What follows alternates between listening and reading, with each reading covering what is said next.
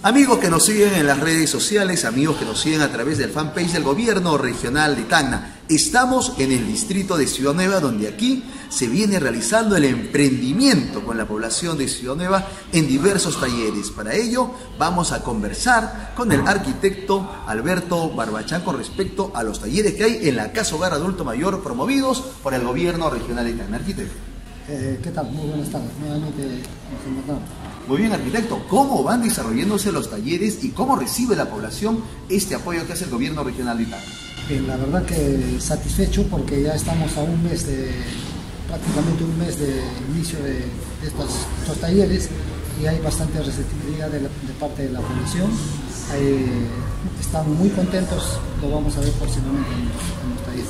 Muy bien, amigos, vamos a conocer cómo están los alumnos de Ciudad Nueva en estos importantes talleres, por supuesto, que realiza el gobierno regional de Itán. Ahí estamos con el primer taller, como es el taller de computación. El taller de computación es un taller que, por supuesto, se va desarrollando aquí en el distrito de Ciudad Nueva y estamos apreciando en las imágenes al profesor y también a los alumnos. Arquitecto, ¿cuántos alumnos hay en el taller de computación? En cada, en cada taller hay 24 en el turno de 1 a 5 y de 5 a dos ya tengo que arrastrar Muy bien, los jóvenes prácticamente en ese taller van a salir capacitados, van a salir con su certificado oficial. Por supuesto, eh, todos saben que esta capacitación la, la ganó el Senate, por lo tanto es una institución que acredita. ¿no? Al final va a acreditar a todas las personas que, que al menos aprueben.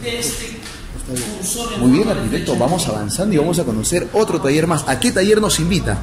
El taller que vamos a continuar eh, es el de renovación de calzado.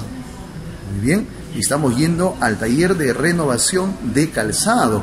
Aquí también, por supuesto, estamos apreciando cómo vienen trabajando los amigos que van a, por supuesto, a realizar calzados, zapatos, zapatillas. Viene la época escolar y ahí, por supuesto, tiene que aprovecharse talleres importantes para poder promover el emprendimiento. Seguimos avanzando y, por supuesto, arquitecto, ¿qué nos puede decir respecto al siguiente taller que se viene? El, siguiente taller eh, es el de corte y confección. Se está llevando en dos turnos, un en la mañana y en la tarde. Estamos, en, por supuesto, en el turno de la tarde. Eh, también de igual manera están haciendo toda la, todo el taller es netamente práctico, como ustedes lo van a poder apreciar. ¿Aquí qué se viene produciendo? Eh, en este momento están haciendo trajes para escalares. O sea, aquí se van a realizar polos, uniformes, eh, también buzos. Sí, polos, uniformes escolares y este, bien, vamos a continuar. Y este es el último taller que se va desarrollando. ¿Cómo se llama el taller, arquitecto? este es el taller más eh, numeroso, es el taller de panadería, pastelería y chocolatería. Muy bien. ¿Qué nos puede decir respecto a este taller? Este taller es el, digamos, el más práctico, el que se ve más porque todo lo que producen ustedes van a apreciar.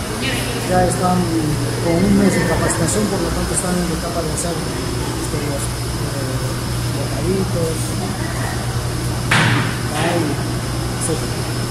muy bien, arquitecto, eh, prácticamente cuántos alumnos están en los talleres de aquí, de este sector?